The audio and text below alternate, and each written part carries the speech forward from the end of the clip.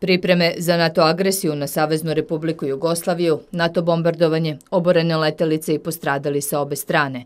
Šta je o nama govorila strana štampa, a šta visoki zvaničnici? Na više od 130 fotografija priča o stradanju civilnih objekata i civila, borbama 98-99. preuzete iz medija. U postavci i fotografije iz privatnih kolekcija autora koji su sami učestvovali u odbrani zemlje, kao vojska ili kao policija. Kažete iz privatne kolekcije, šta to znači? Kako su nastale ove fotografije? Ko ih je slikao? E, kolega Vulić, koji je potpukovnik policije, ja sam nosio ovaj svoj znači, fotoaparat i dosta ljudi koji, je, koji su radili recimo u policijskoj brigadi u Saju su slikali otprilike ono što su mogli da, da zabeleže. Tako da imate dosta prizora iz borbi konkretno neposredno.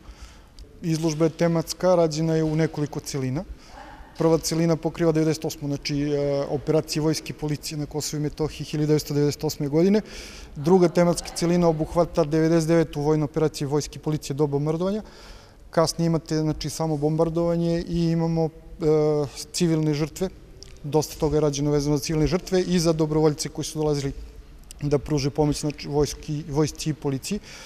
Pored ovoga imamo tekstualni deo koji je dat ovde.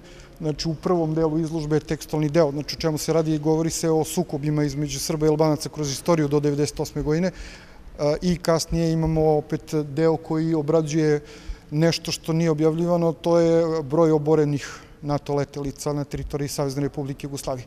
Izložbu fotografija povodom 20 godina od NATO bombardovanja uz Mirkovića potpisuju još dva autora, Miloš Vulić i Jovan Pavlović. 24. marta 2019. izložba je postavljena u Zubinom potoku, zatim je bila u Sokobanji, a nakon Niša ide u vojne objekte u Leskovcu i Vranju. U oktobru biće postavljena u komandi ratnog vazduhoplovstva u Zemunu. Pokrovitelji izložbe su Ministarstvo odbrane, Kancelarija za Kosovo i Metohiju, Opština Zubin Potok i Udruženje ratnih dobrovoljaca 912. 918.